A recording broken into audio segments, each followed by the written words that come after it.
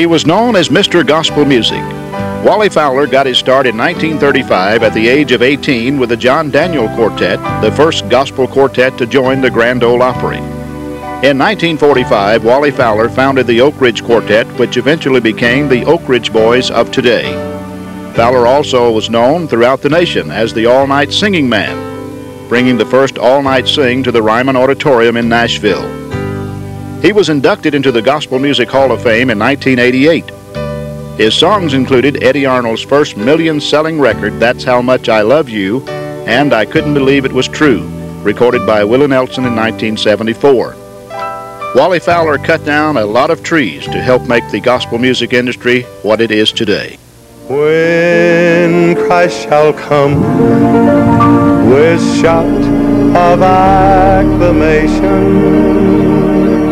to take me home, what joy shall fill my heart? Then I shall bow in humble adoration and there proclaim, My God, how great thou art.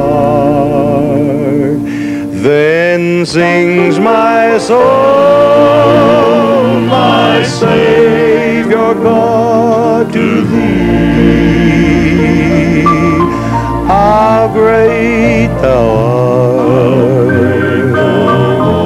art great thou How great thou art. Then sings my soul,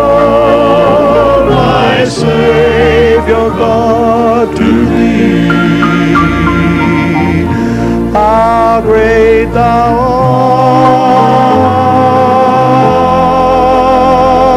art. How great thou